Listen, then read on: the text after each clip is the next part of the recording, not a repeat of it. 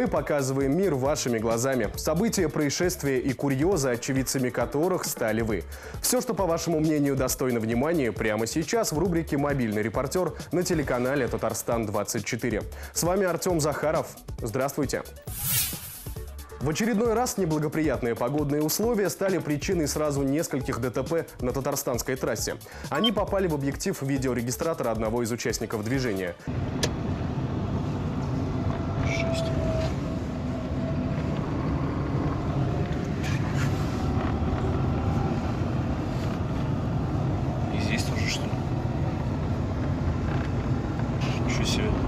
На автодороге Альметьевск-Челны из-за сильной метели автомобили сталкивались друг с другом и съезжали в кювет. При этом на видео видно, что видимость на трассе минимальная, о чем и говорит автор ролика. Вообще, смотри, ничего же не видно. Вот так вот, аккуратно надо быть на трассе. Очень сильная метель. Он в очередной раз предостерегает водителей от превышения скорости и чрезмерной самоуверенности за рулем в условиях плохой видимости.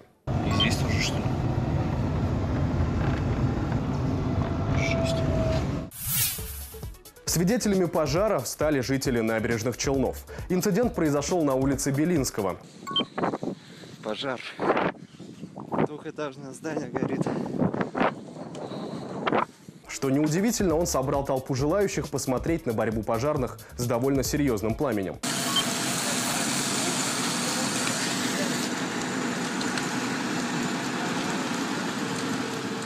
Между тем, в этот момент, когда здание было охвачено огнем, ни пожарные, ни тем более простые очевидцы происшествия не знали, что в огне погиб человек. Труп мужчины-огнеборца обнаружили только после полной победы над пожаром. Позже выяснилось, что погибшим оказался бездомный, он был там с приятелем. Двухэтажный коттедж не был достроен и был заброшен. И, судя по всему, мужчины проникли в него, чтобы согреться в мороз.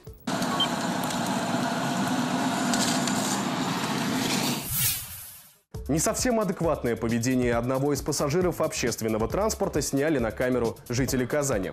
На первый взгляд абсолютно нормальный молодой человек вскакивает с сиденья и начинает кричать что-то несуразное.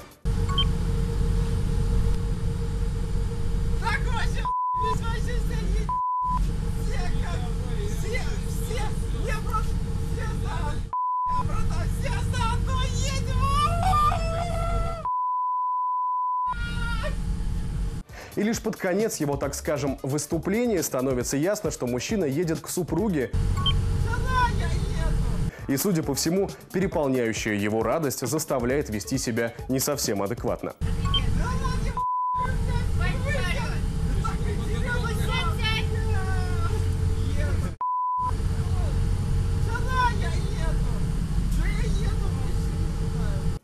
Либо молодой человек не совсем трезв, либо такие вещи с ним творит любовь. Вообще, здесь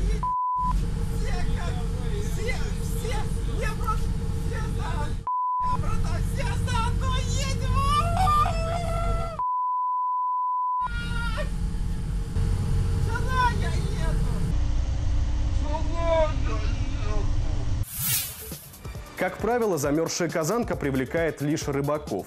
Но несколько жителей Казани утверждают, что замерзший водоем можно использовать в качестве отличной площадки для набирающего в последние годы увлечения под названием сноукайтинг.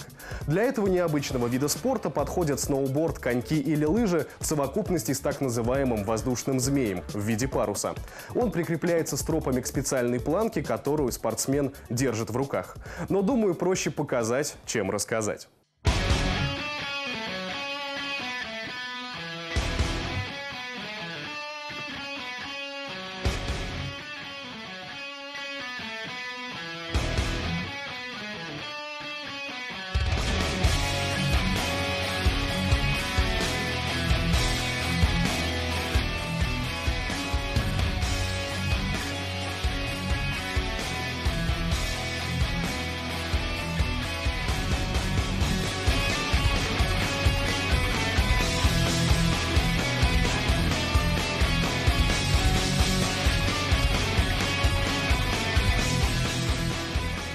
После таких кадров становится ясно, почему площадкой для кайтинга была выбрана именно Казанка у стен Кремля.